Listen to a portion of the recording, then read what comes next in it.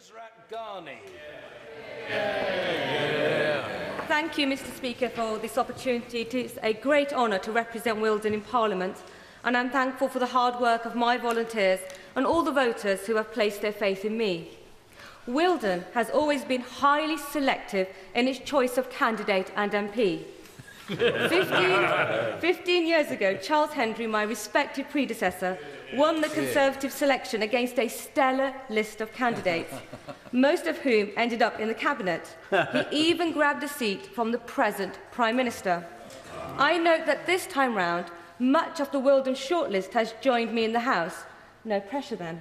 Charles not only dedicated his life to public service and served our country as Energy Minister, He served twice as deputy chairman and was chief of staff to William Hague when he was leader. Charles and his wife Sally were dedicated to the Conservative cause and gave our party backbone, stability and common sense during the toughest of times.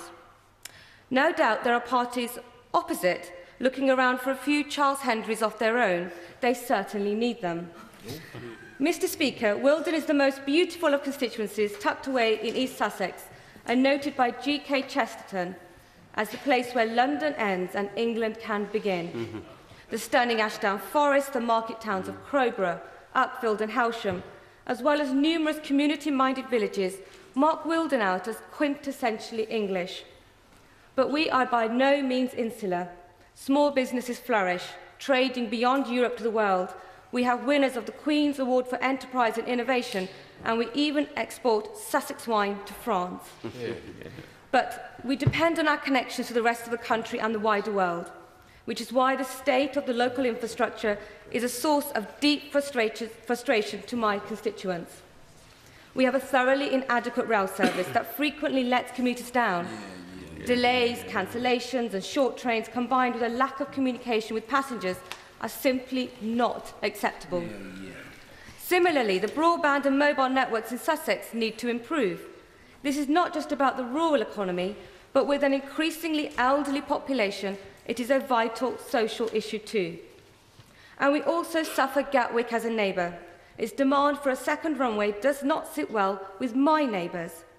Yeah, Mr yeah, Speaker, Britain's relationship with Europe matters deeply to my constituents, and I am pleased to say they have a history of always supporting the government of the day's policies towards Europe. Back when the world was the centre of the iron smelting industry, it produced the arrowheads used at Agincourt and later made many of the cannon used to defeat Napoleon. During the Second World War, it was home to the Asper Distra project, transmitting black propaganda into Germany.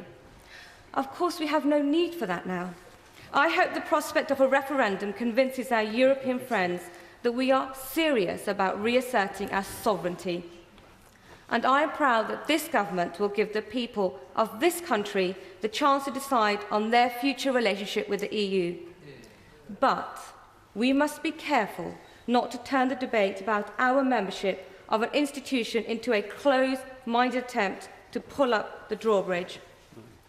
This country is at its best when it is open to the world, embracing opportunities and welcoming people who want to contribute.